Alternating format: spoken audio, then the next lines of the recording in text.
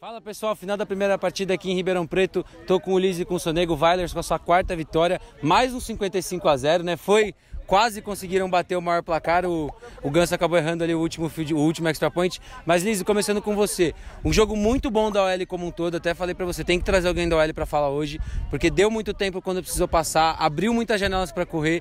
Então, como que é para vocês ver esse jogo melhorando a cada jogo e com poucas faltas? A gente teve acho que uma segurada só da OL hoje. Então, como que é ver esse jogo evoluindo e evoluindo sem faltas? Não, foi ótimo, foi ótimo. Acho que isso a gente está combinando na, nos treinos, né?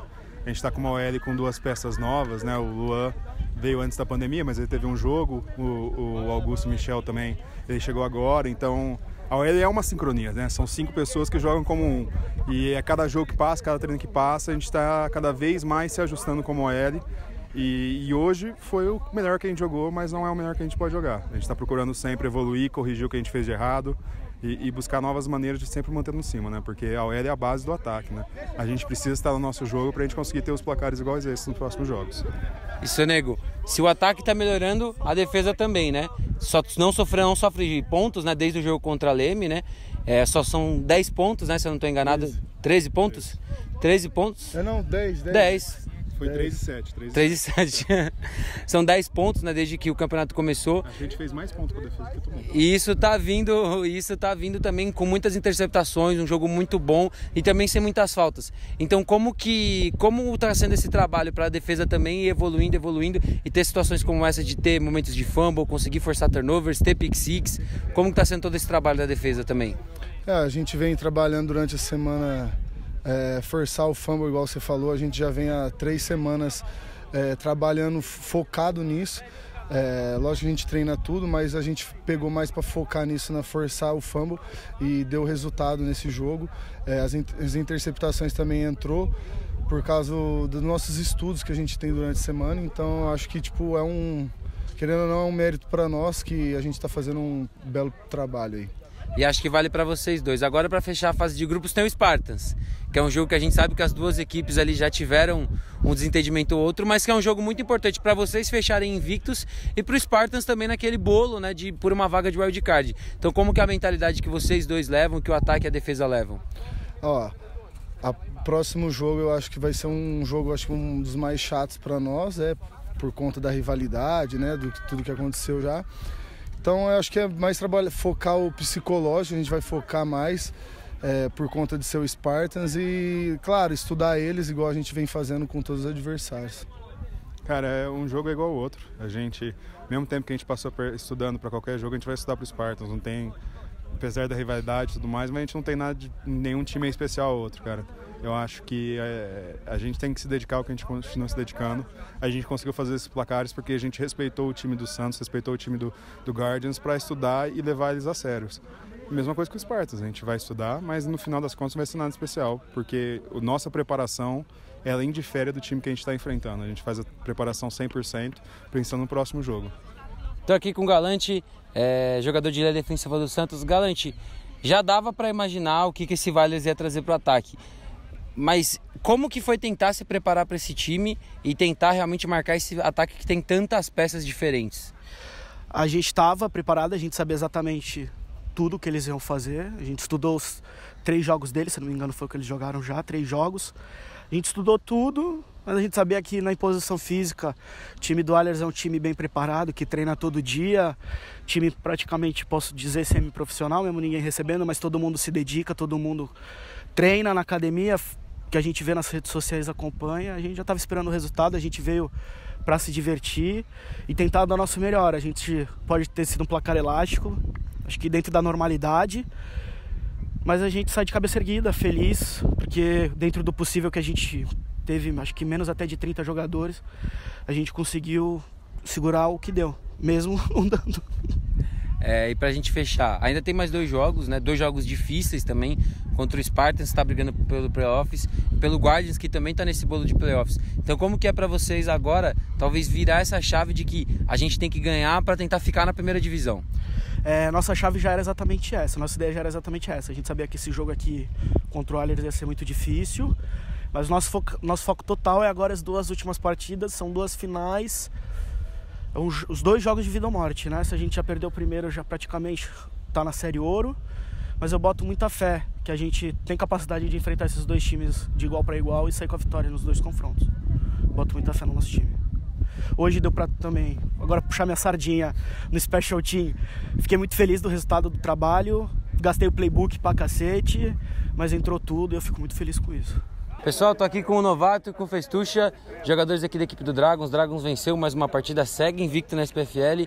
Novato, vou começar com você, três jogos, três interceptações e hoje o primeiro jogo onde o Dragon sai zerado. Então como que tá sendo essa evolução da defesa dentro da SPFL?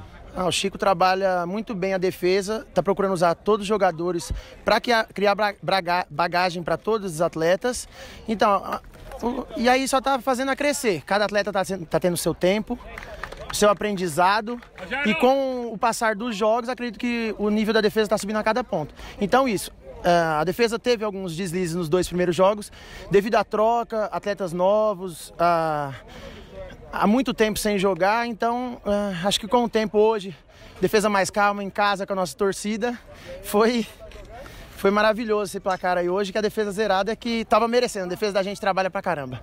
E Festucha, mais um jogo também muito bom do ataque, conseguindo correr bem com a bola, mas também usando muito do jogo aéreo em vários momentos, né? Seja com o Tremesquim, seja com o Renato, seja com. Eu me fugi o nome do menino que entrou na final da partida agora, João. o João. Os três quarterbacks, os três tendo a oportunidade de lançar a bola, né? Como que é para o corpo de recebedores saber que, independente de quem estiver lá, vai ter uma oportunidade de receber um passe?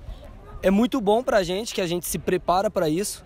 E, e, é importante porque isso mantém o ritmo, porque querendo ou não, por mais que a gente trabalhe a psicologia de não desanimar, sabendo que a bola às vezes não vai para você, se você nunca recebe, se você sabe que o jogo aéreo não está sendo usado, acaba um pouco abaixando o nível. E isso é bom para todos os sentidos, é bom para motivar e é bom para rodar o time, para todo mundo receber bola e para dificultar a leitura da defesa, porque se você só corre, corre, corre e não passa, uma hora facilita para a defesa. Então, com essa variação, acaba dificultando um pouquinho mais a leitura. Estou aqui com o Caio, receiver da equipe do São José Jets. Caio, a equipe começou com duas vitórias, depois aí encarou dois times muito fortes dentro do grupo e agora está numa situação que vai para o último jogo, dependendo da DC, se ganhar pode conquistar uma vaga nos playoffs, mas como que é para vocês já sentir esse peso da, da série Diamante agora, de começar com duas vitórias e depois ter dois adversários tão fortes na sequência?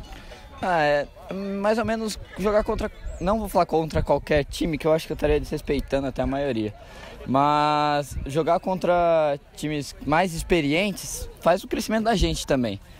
E o Storm estava em reformulação, então é um time experiente, mas com muito novos atletas. O Indians, eu creio que também, novos atletas entrando. Corinthians, o Dragons e o Rhinos que está vindo já são atletas mais experientes que costumavam jogar junto. E são, são experientes e muita gente nova nosso também. Cara, não tem muito o que dizer. A estratégia conta muito de jogo, o físico deles conta muito também. Eles eram muito maiores que a gente e é foco já para o próximo jogo, é como se focasse para o próximo sempre. Porque a vaga, a chance tem. Claro que depende de outras coisas agora, mas se tem 1% de chance, a gente está lá para disputar. E eu queria fazer uma pergunta para você que é mesmo do ataque, né? A gente falou sobre como um ataque que tem muita gente que consegue receber a bola, consegue produzir, mas nos dois últimos jogos acabou saindo zerado. O que, que você acha que está faltando, se não para talvez pontuar muito, mas para conseguir voltar a pontuar? O que está faltando, eu acho, de, é, explorar mais é, a leitura dos caras. Foi o que eu falei no começo do, nos dois outros jogos que eu falei pro time, pro nosso ataque. Acho que a gente conseguiu explorar muito mais o erro dos caras, fazer mais leitura da defesa e com os times mais experientes a gente está tendo mais dificuldade sobre isso. É, com o tipo de formação que eles vêm, não sei dizer, a gente vai ter que estudar de novo, ver o que foi parecido com o último jogo para a gente falar mais certo sobre. Mas eu acho que é isso, a gente não está conseguindo executar o erro do cara ou o que o cara tá deixando pra gente, chamando a jogada errada, não sei. É agora só com base no estudo para ver o que a gente errou contra o Corinthians e contra o Dragons e mudar isso para o Rinos, pra gente conseguir sim pros playoffs, que é a meta. O time ele se preparou, estudamos bastante os Ancelotti, conforme os últimos jogos que eles fizeram. É, infelizmente nosso ataque não conseguiu emplacar as jogadas que a gente veio trabalhando, fazendo com que a defesa ficasse mais tempo dentro de campo. E isso foi um dos fatores com que fez com que o resultado fosse esse. Mas a gente tem mais um jogo e é ganhar para a gente continuar vivo aí nessa, nesse campeonato e bola para frente agora. É, a preparação para o nosso jogo foi como uma final. É, a gente não pode perder mais nenhum jogo. apesar de a gente ter saído com a vitória, o nosso time sabe que tem muito a melhorar ainda. É, a gente quer chegar na final, a gente quer ser campeão, a gente não entra em campeonato para participar do campeonato. É, agora se preparar para mais uma final contra a Leme, para a gente conseguir classificar bem, fazer um bom jogo e cabeça para frente. É sempre procurando melhorar cada dia mais. A gente ficou dois meses parado, então pra gente a gente sabia que a gente ia perder um pouquinho do ritmo de jogo, né? É, mas em contrapartida a gente conseguiu estudar um adversário durante dois meses. Então eles tiveram dois jogos, então a gente tinha bastante informação do que eles poderiam apresentar pra gente. Então acho que um grande diferencial aqui foi o que os coaches colocou pra gente. A gente fez muito estudo, a gente fez muito treino baseado naquilo que eles iam apresentar. E eles acabaram apresentando aquilo que a gente acabou estudando também.